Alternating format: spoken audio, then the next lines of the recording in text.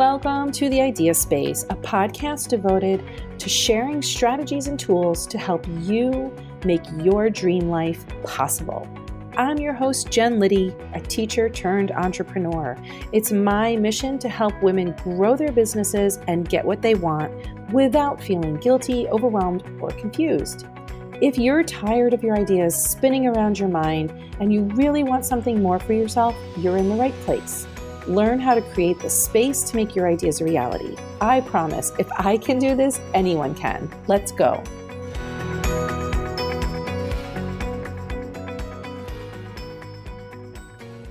Hi, everyone, and welcome to today's interview. I am focusing on leadership this month in my content because I've talked to so many people who either don't see themselves as leaders or who are burned out leaders or who want to move into leadership but are kind of stuck around what does it mean to be a leader? How can I be a better leader? And I think it's interesting to talk about leadership as we move into the you know high high level of election season so let's talk about leadership and when i looked around my group of colleagues and friends the person who stuck out to me was laura prisc Laura is a leadership coach. She's an executive coach and she's a speaker, and she speaks to strengths of leaders. She really understands leaders from the inside out, and that's why I invited her today to talk to us. So, Laura, thank you so much. I know we're going to be talking about some foundational things about leadership and some aspirational things about leadership. So, I'm really glad you're here. Thank you so much. You're welcome so much. I'm excited to have the conversation. Yeah, we always have good conversations. So, let's get started. Well, let's dive right into it. I want to know how you define a leader and leadership. Let's start there. What does it mean okay. to be a leader? So, my personal philosophy is that leadership is not about title, position, power, or authority. Mm-hmm. If you rely on those things, the people around you will do just exactly what they have to do within the confines of whyever they're with you. So, if that's a job, it means they're going to do what they have to do to get their paycheck and go home leadership to me really truly is earning the right to influence people. And you get to do that when you show up as someone of high values, integrity, character. They know they can trust you, they know that you're going to follow through and do what you say you're going to do. And your agenda or your interest is not just getting what you can for yourself, but in fact, making things better for everybody. Okay, now that now that you've said that, I, I have another question.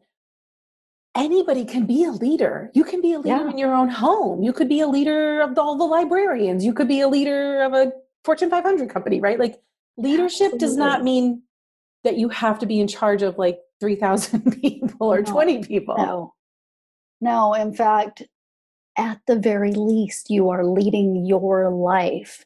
and whether you're in that official position somebody is always watching you and they're looking at you as a role model for certain things. So so at the very least yes you're leading your own life you're leading your family you may be leading a group of friends and you know that influence may be as simple as you know hey jen i just read this really great book on emotional intelligence. I think you'd love it. I think you should read it and if you choose to read it, you have allowed me to influence you, right? right? But it could be at the other full spectrum of we're going to build this new company to do XYZ, whatever inspiring vision you have. And that's the whole gamut in between. Okay. So we have to be a little gentler with ourselves when we think of ourselves as leaders because it's not necessarily hierarchical, it's not necessarily male, female. And I want to talk a little bit about you, you've already hit on the qualities of a leader, you know, being in integrity, be mm. trustworthy. But what else does a really good leader have to be or do?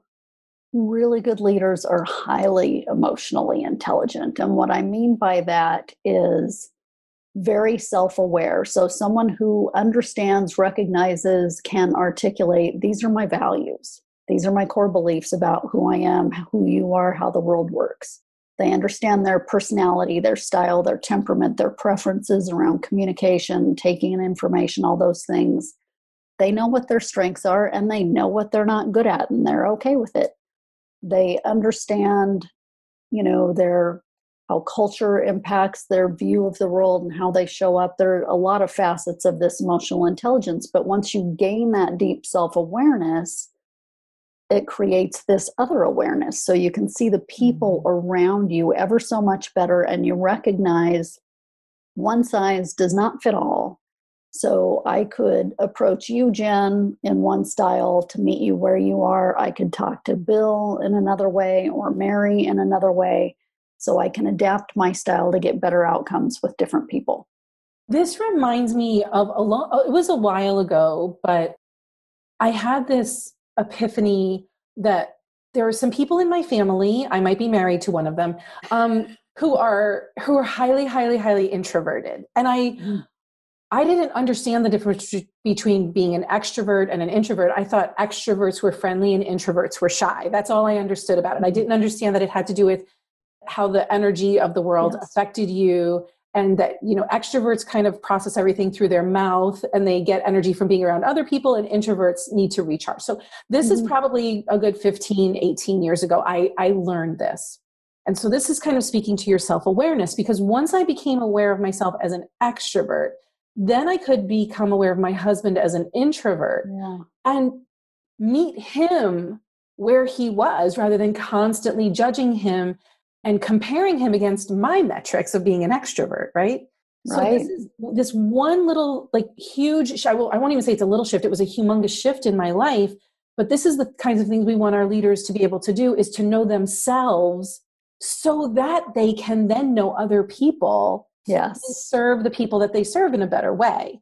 Yes. Absolutely you are spot on. That that makes so much sense. I don't know that leaders are terribly good at knowing themselves very well. Not all leaders, right? Like the exceptional leaders are really good at that. So, can we talk a little bit about the mistakes that leaders do make and how it affects them? Yeah. So, one of the things that I've experienced over too many decades in business is that oftentimes we promote people into a pitch position of management or leadership based on their technical expertise. So maybe I'm the best engineer or maybe I'm the best accountant. And when the manager position comes open, I get promoted for that. Mm. But nobody prepares me for what does it mean to actually lead people because now this is an entirely different playing field, right? Right. The dynamics have changed, the nuances have changed, the expectations have changed. So I think one thing is that we don't prepare people coming up for those leadership roles. And the thing about it is, I think everybody can learn to lead, but not everybody enjoys leading. Oh, that's interesting. It's an entirely different skill set. And, and a lot of people will find themselves thinking, oh, I want the promotion, I want the manager role. And they get it because it's a little more status, a little more money, maybe more benefits or whatever. But then you get in there and you recognize business is simple, but people are complicated oh my goodness, you know, they come with emotions and baggage and they're irrational and they have insecurities and unspoken needs and all this stuff. Right. And so some people don't want to deal with that. Maybe I just want to do the engineering, right? But now I'm in this position. I have no preparation. We don't always train people to do it well. We just assume they're going to figure it out. Right, right. And there's no way for me to step back if I realize it's not the role for me. Oh, because our ego would get in the way. Well, and, and companies don't really make it comfortable or easy for you to do that, okay. right? So it's awkward.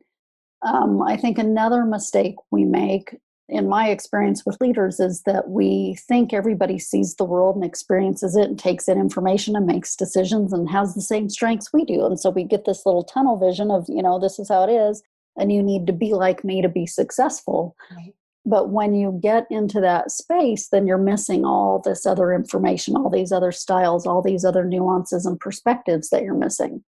I think we often expect everybody to, to just get us and understand us and figure out how to work well with us. And so, one of the things I work with my leaders on is, you know, Jen, I want you to sit down. We're going to write your Jen Liddy operator's manual.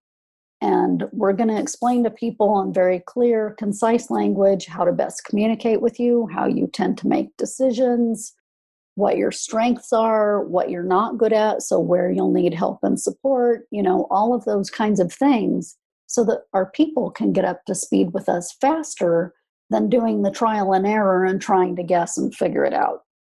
It's like that invisible manual. You know, yeah if you've ever had a best friend or a partnership or a spouse or you know even like a boyfriend or a girlfriend you get into these partnerships with other humans and you expect them to understand your invisible manual that you've never given them. Yeah. Gift it would be to give the people around you to know this is how i like to communicate instead of taking years to figure it out of trial and error. What a gift yeah. so how do good leaders do that without saying, okay, everybody, like, here's how I communicate, or here's how I like you to apologize to me. Like, how do you, how do you do that? Well, you know, once you take the time to actually be able to articulate those things, and I've got a tool that I've developed that walks um, my clients through that one step at a time, okay. very crystal clear. We spend a lot of time in exploration and discovery so we can then communicate it you can make just a one page document really. And anytime I, I tell folks if you take on a new role you take on a new team or even just a new team member mm. you sit down and you have a getting to know you kind of ah. conversation right? Let's get to know each other and here's my shorthand right? Here's that is so normal and not weird at all. That is like oh it doesn't have to be weird. No. That's and, great. and people love it because you've just made it easier for them. They've got the shorthand. These are this is how I do it. You know, like I had a boss one time when I had a corporate job. And when you would walk into her office, you couldn't miss it. She had this little plaque on, on her desk. It wasn't big, it wasn't obtrusive, but if you were looking at her, you couldn't miss it. And it said, Be brief, be bright, be gone. And she that. wasn't she wasn't being rude. It was just her style was i just want the facts. Tell me what's going on. What do you need from me? What are you doing about it? When will we be done? Go away. Yes. right? Yeah. and let's get back to work right? Yeah. so it made it ever so much easier. And then i would know if there's really a lot more context stuff that she really does need to understand then i would schedule time with her to mm. sit down and and she would have the mindset then for the bigger story.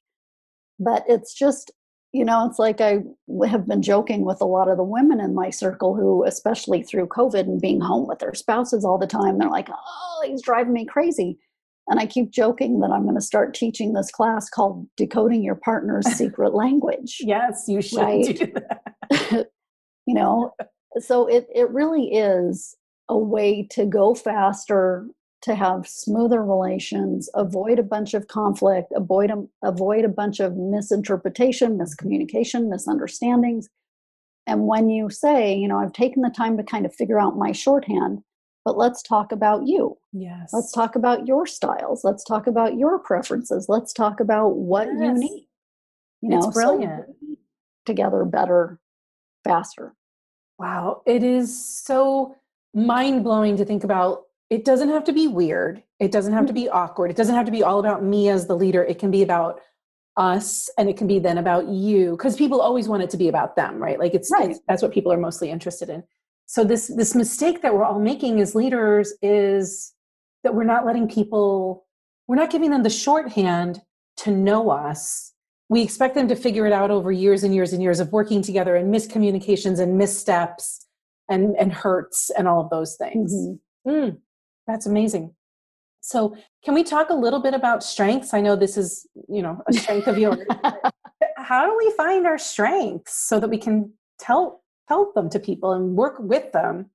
So, you know, obviously there are a couple of ways. You know, one of the things is doing the assessment, right? There's an official online Gallup or Clifton Strengths assessment, which is scientifically scientifically based, research backed, valid, reliable barring doing the actual assessment, though, there are a couple of other ways that we recognize our strengths. One of them is that we have flashes of brilliance about something. So, for example, let's say we have this latent talent, we have some natural hardwiring talent to be a good guitarist. So, as we're picking up playing the guitar, we're learning it fast. We have kind of flashes of brilliance about how it works and how to learn it faster. We get into flow, mm-hmm. we have fun, we have high quality results, and time just flies, right?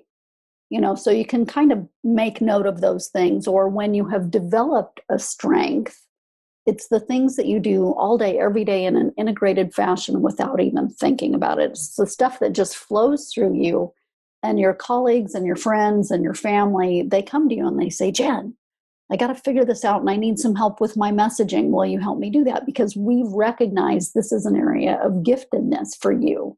And so the things that people keep coming to you and asking you for over and over again, they're not doing it just to be nice. They're doing it because they know you do it well.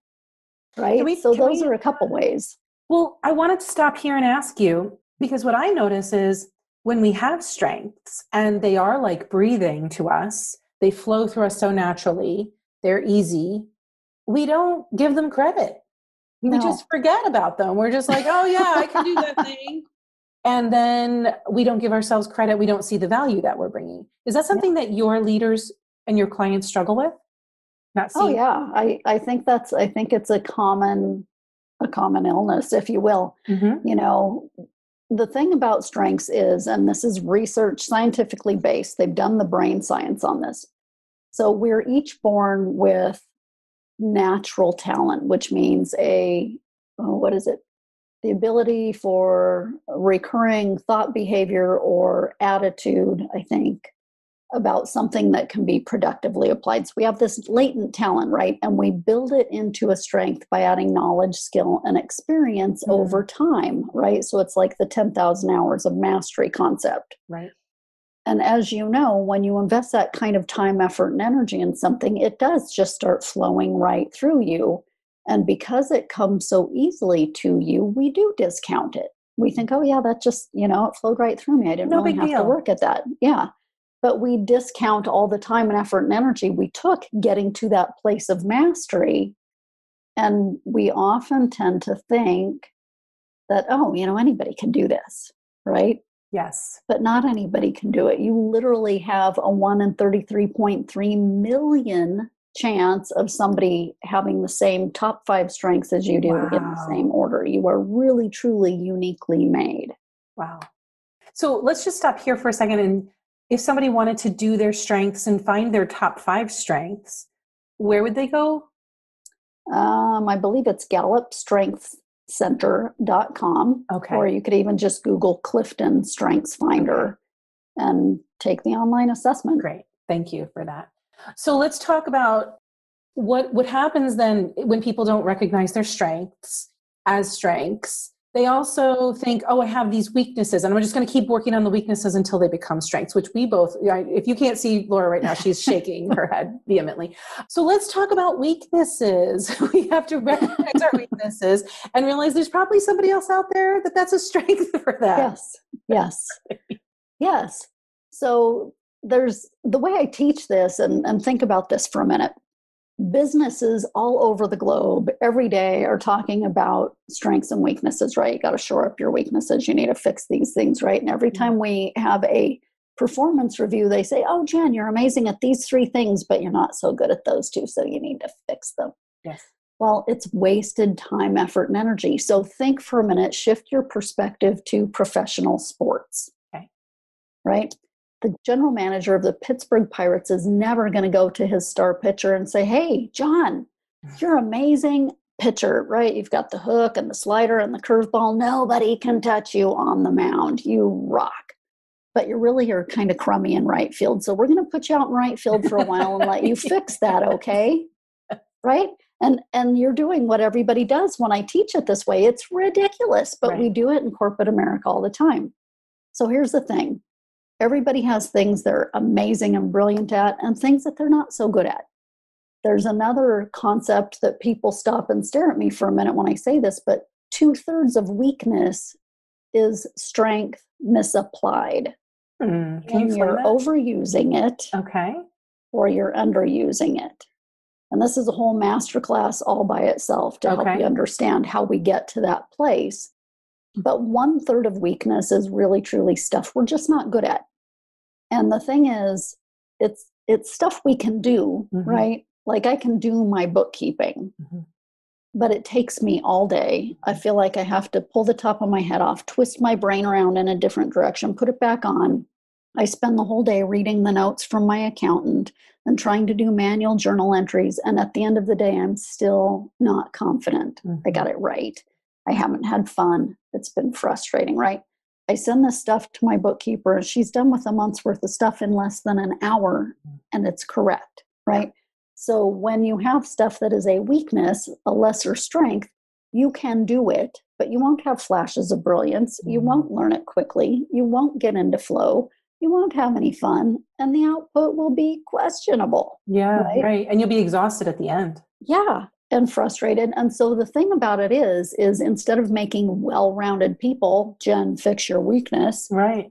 Why don't we let you be the amazing superstar you are in the area where you're brilliant and build in tools and systems and collaborative partnerships around you. Right. So you do what you do really well, I do what I do really well, and we're together better. I love it. I have a question about how people misuse this information. So, back in the day when I was a high school English teacher, I had a boss. He was in charge of all the humanities, right? So, he was the curriculum guy. And he liked me and he would let me do whatever I wanted. So if I wanted to teach honors, if I wanted to teach uh, the regular Regents kids, whatever I wanted to teach, I could teach. He did not like one of my colleagues, and her specialty was teaching the honors kids and the AP kids. She wanted to only work with the really brilliant kids, and she was really good at it. I frankly found the honors kids and the, and the really brilliant kids super annoying because they were grade grubbers. Give me a regular Regents kid any day of the week. I'm like, I can meet you where you are and get you where you need to go, right? But what he would do is he would kind of leverage his power and his leadership to not give her the classes that she would shine in. And it was a way of kind of punishing her. I don't even know if he was aware he was doing it, right? And then it, of course, created division because the, my colleagues would look at me like, why does Jen get to teach whatever the hell she wants to teach? Why don't I get to teach what I want to teach? But more importantly, like the kids weren't getting the best teacher for the, the class that they were taking.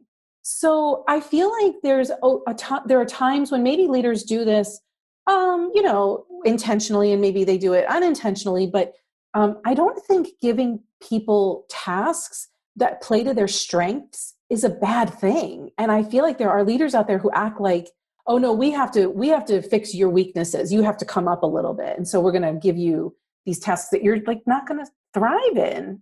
Have you ever seen that happening? Yes, everywhere, okay. all the time, okay. every day. Yes, it, and and in fact, I experienced it. You know, one of the last corporate jobs I had, you know, I was on fire for developing people, and anyway, and we didn't have an organizational development person officially. And so, whenever those kinds of things would come up, I would get excited, and I was like, "Ooh, I want to do that." And I had leaders who would deliberately look at me and say, No, we're going to mm. give it to Hannah or we're going to give it to John or, you know, and I'm like, and Hannah and John are both sitting there going, "Not oh, me." you know, I don't want to teach the honors kids. so yeah, you know, you're speaking to significant and far too common dysfunction, and there are a lot of different reasons for it. Right? It might be that the leader is totally clueless and doesn't recognize the the havoc they're creating. Right. It might be that they're on a power trip and they think it's fun to twist people around like puppets. Um, it might be because they're insecure and they feel like they need to be the leader and they yes. need to you know set the rules and set the framework and and this goes back to one of the things you asked at the beginning truly confident emotionally intelligent self-aware leaders build leaders right mm. and they look at their team and they recognize everybody's gifts and strengths and they draw that out of them and they create teams and project frameworks and stuff where everybody gets to do that and they also recognize that there are certain times where we're all facing a challenge or a situation that I'm not the expert in. Right. But you might be. Right. And so, really confident leaders will say, you know what, in this situation, Jen is best equipped to lead us through this. So, we're going to follow her lead. You know, if you need anything, go to her. I'll be here to back her up. And it's not a it doesn't make me any smaller it doesn't make mm-hmm. me any less it just makes me smart enough to recognize and allow the talent around me to lead when it's appropriate.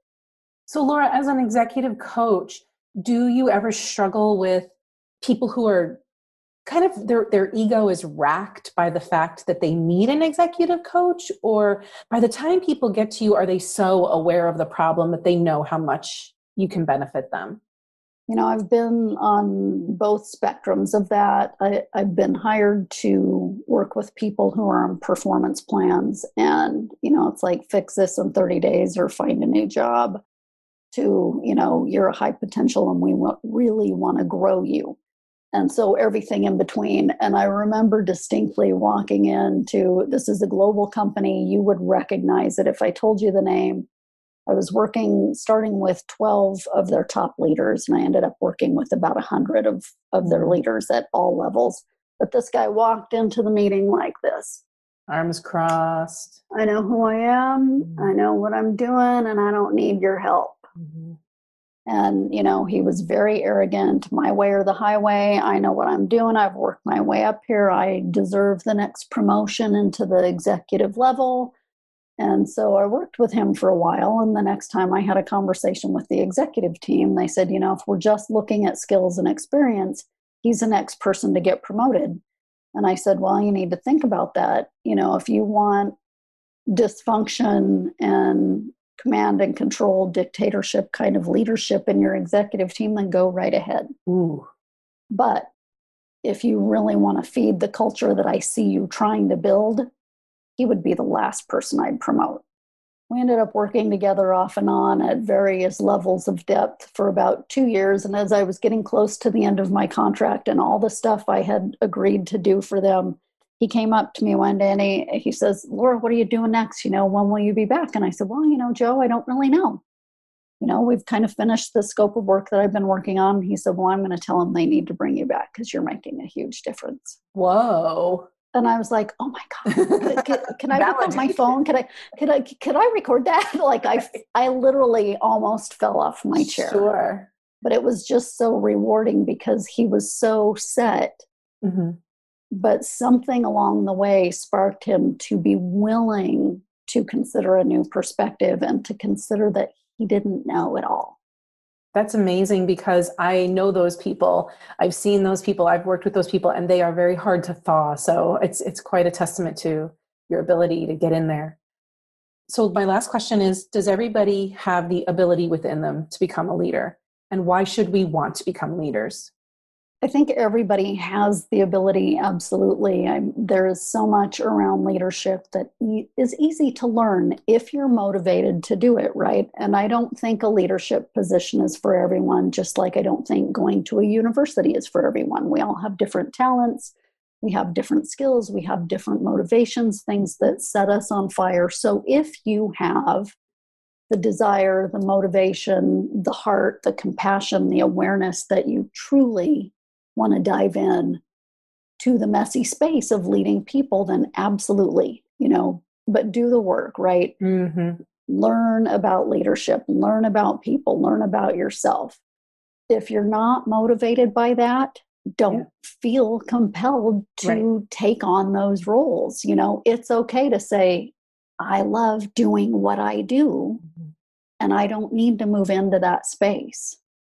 Yeah, leadership sounds like knowing yourself first and liking and knowing uh, liking knowing other people right it really is less about yeah. strategy and much more about the people who are going to put the strategy into play yeah. and one last thought on that is that there is no one perfect model right. of leadership right? right we all bring those nuances and personal talents and skills and perspectives to it so if you choose to lead whether it's just leading you in your life or leading a team or leading in the community, do it as you. Mm-hmm. There is only really truly one unique you on the planet for all time. And if you don't bring you to the table, we're all missing out. That's such a great piece of advice. Thank you. Where can people follow you and learn more about you? I know you're pretty prolific on LinkedIn. Yes, I've been I've been posting videos on LinkedIn. You can find me there, Laura Prisc, easy enough. I'm on Facebook, not as often. I have a podcast, Making Space for Conversations That Matter, that truly is just about having fabulous conversations with people like you. and then you can find me at lauraprisc.com. And that's P R I S C, Brisk. Yes. Sounds like brisk, but it's Prisc with a P and a C at the end. So Laura, thank you so much. This is such a great way to kick off my month uh, talking about leadership. And you've given me so many great insights since I've known you about leaders, about strengths, about letting go of our weaknesses. Um, and and I, I think my favorite thing is deciding where you want to be a leader in your life because you don't have to always be the leader in all the places. And I think that's something that people with the quality of being a leader, they tend to always fall into leadership roles and it can be exhausting for them. Mm-hmm. It can. And so, you know, with that self awareness, you give yourself time once in a while to stop and actually think is this a space I want to step into oh, right yes. now? And it's okay to say no. Yes, it's okay to say no. That's that's a great piece of advice for me. So I'll stop there. Thank you so much again for your time and your brilliance. I hope that people go check you out. And if they are looking for an executive coach, support and leadership, I highly recommend Laura. I know her personally. I've worked with her. She is quite brilliant at this. So thanks again. Thank you. It was fun to get to do what I do. Was. Bye. Bye. Thanks for joining me today. If you like what you heard, please subscribe to the Idea Space in your podcast app and tell that friend of yours who needs some help getting where she wants to go I'd be so appreciative if you left a review because then we can help more women create the space for their ideas too. Go to jenliddy.com forward slash free to grab the many free resources there to help you move forward. And I will see you next time. Bye.